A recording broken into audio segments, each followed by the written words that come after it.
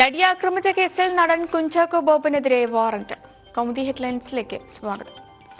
നടിയെ തട്ടിക്കൊണ്ടുപോയി ആക്രമിച്ച കേസിൽ സാക്ഷിയായ നടൻ കുഞ്ചാക്ക ബോബന് കോടതി വാറന്റ് പുറപ്പെടുവിച്ചു. വിസ്താരത്തിനായി വെള്ളിയാഴ്ച കോടതിയിലെത്താൻ നേരത്തെ സമൻസ് നൽകിയിരുന്നു. ഇതുപ്രകാരം എത്താതിരുന്നതിനെ തുടർന്നാണ് നടപടി.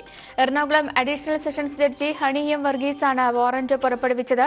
സിനിമാ ചിത്രീകരണവുമായി ബന്ധപ്പെട്ട് കൊടൈക്കനാലിലായതിനാൽ ഹാജരാകാൻ കഴിയില്ല എന്ന് കുഞ്ചാക്ക ബോബൻ അറിയിച്ചിരുന്നു. തുടർന്ന് അടുത്ത മാസം നാലിന് ഹാജരാകാൻ കോടതി നിർദ്ദേശം നൽകുകയായിരുന്നു.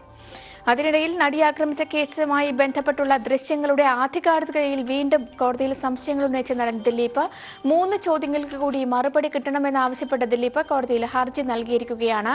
ദിലീപിന്റെ ആവശ്യം കേട്ട കോടതി ഹർജി അംഗീകരിച്ചു. ചോദ്യങ്ങൾ സെൻട്രൽ ഫോറൻസിക് ലാബിന് കൈമാറാൻ പ്രത്യേക കോടതി ഉത്തരവിട്ടു. കോടതി ഉത്തരവിൽ പ്രോസിക്യൂഷൻ എതിർപ്പ് വ്യക്തമാക്കിയിട്ടുണ്ട്.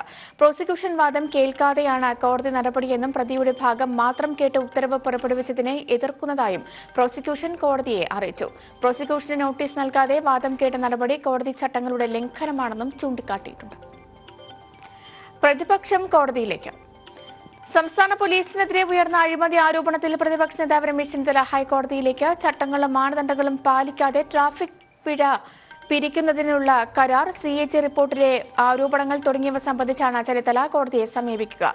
റിട്ട് ഹർജി സമർപ്പിക്കാനാണ് ആലോചന. ഇതു സംബന്ധിച്ച് നിയമവിദഗ്ധരുമായി കൂടിയാലോചന നടത്തുകയാണ്. ഈ ആഴ്ച തന്നെ ഹൈക്കോടതിയെ സമീപിക്കാനാണ് നീക്കം. പോലീസും ഡിജിപിയും സംശയത്തിന്റെ മുൾമുനയിൽ നിൽക്കുന്ന കേസ് അന്വേഷിക്കാൻ സിബിഐ വേണമെന്ന് ചെന്നിത്തല ആവശ്യപ്പെടും. സി എച്ച് റിപ്പോർട്ടിലെ കണ്ടെത്തലുകളും കോടതിയിൽ ഉന്നയിക്കും.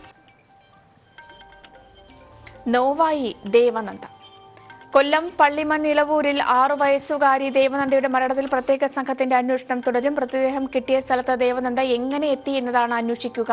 മൃതദേഹത്തിൽ പോറലോ മറ്റ് പാടുകളോ ഇല്ല. ബലപ്രയോഗം നടന്നതിന്റെ ലക്ഷണങ്ങൾ പോസ്റ്റ്മോർട്ടം പ്രാഥമിക നിഗമനത്തിലും കണ്ടെത്തിയിട്ടില്ല.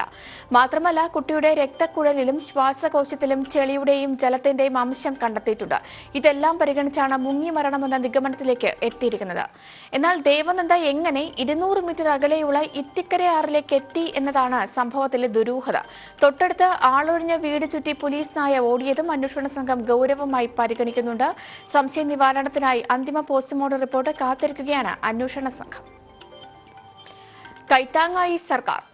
സംസ്ഥാന സർക്കാരിന്റെ സമ്പൂർണ പാർപ്പിട പദ്ധതിയായ ലൈഫ് മിഷൻ വഴി രണ്ടു ലക്ഷം വീടുകൾ പൂർത്തീകരിച്ചതിന്റെ പ്രഖ്യാപനം ഇന്ന് നടക്കും. വൈകിട്ട് മൂന്ന് മണിക്ക് മുഖ്യമന്ത്രി പിണറായി വിജയൻ തിരുവനന്തപുരം പുത്തരിക്കണ്ടം മൈതാനത്ത് പ്രഖ്യാപനം നടത്തും. ചടങ്ങിൽ ലൈഫ് പദ്ധതിയിൽ മികച്ച പ്രവർത്തനം നടത്തിയ തദ്ദേശ സ്വയംഭരണ സ്ഥാപനങ്ങൾക്ക് മുഖ്യമന്ത്രി അവാർഡ് നൽകും.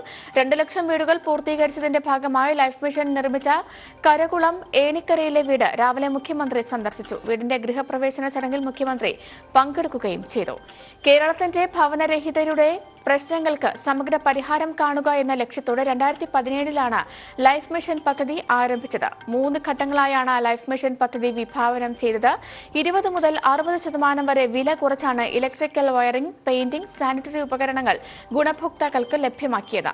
മാനദണ്ഡപ്രകാരം ലിസ്റ്റിൽ വരാത്തവരും എന്നാൽ വീടില്ലാത്തവരുമായ കുടുംബങ്ങളെ അടുത്ത ഘട്ടത്തിൽ പരിഗണിക്കുമെന്നും മുഖ്യമന്ത്രി അറിയിച്ചു. അതേസമയം ലൈഫ് പദ്ധതി തട്ടിപ്പെന്ന് പ്രതിപക്ഷ നേതാവ് രമേശ് ചെന്നിത്തല ആരോപിച്ചതിന് പിന്നാലെ ഇന്ന് പ്രതിപക്ഷം പ്രതിഷേധവും സംഘടിപ്പിക്കുന്നുണ്ട്. തിരുവനന്തപുരം കോർപ്പറേഷന് മുന്നിൽ നടക്കുന്ന പ്രതിഷേധ ധർണ മുൻ മുഖ്യമന്ത്രി ഉമ്മൻചാണ്ടി ഉദ്ഘാടനം ചെയ്യും. തീരാത്ത കോവിഡ് പേടി. ചൈനയ്ക്ക് പിന്നാലെ കോവിഡ് നയന്റീൻ ചുറ്റിപ്പിടിച്ച ഇറാനും വൈറസ് പൊട്ടിപ്പുറപ്പെട്ട ചൈനയ്ക്കു ശേഷം ഏറ്റവും കൂടുതൽ പേർക്ക് കൊറോണ ബാധയുണ്ടായതും മരണം സംഭവിച്ചതും ഇറാനിലാണ്. ഇരുന്നൂറ്റി പത്ത് പേർ ഇറാനിൽ വൈറസ് ബാധിച്ച് മരിച്ചതായാണ് ആശുപത്രി വൃത്തങ്ങളെ ഉദ്ധരിച്ച് ബി ബി സി റിപ്പോർട്ട് ചെയ്തിരിക്കുന്നത്.